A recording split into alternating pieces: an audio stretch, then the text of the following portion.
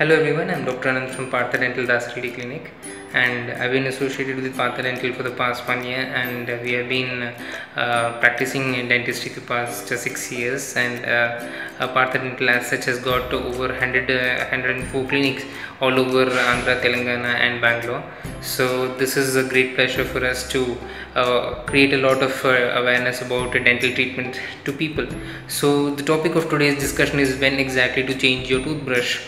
Now, uh, a toothbrush, as we generally use every day, uh, mostly to brush twice, and some of you may be brushing once. So, no matter uh, whatever is the number of time to uh, times people brush their teeth with, uh, I would recommend that the toothbrush should be changed every three months.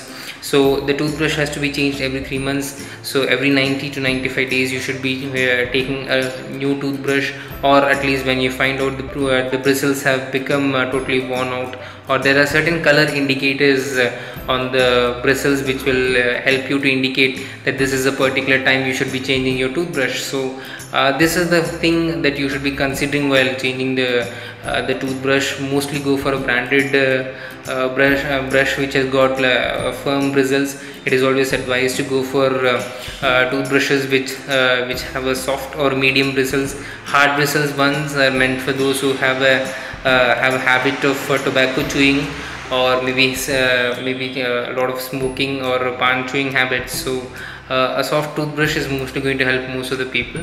So i hope you like this small talk from us for as a part of our dental awareness. Thanks for listening. This is dr anand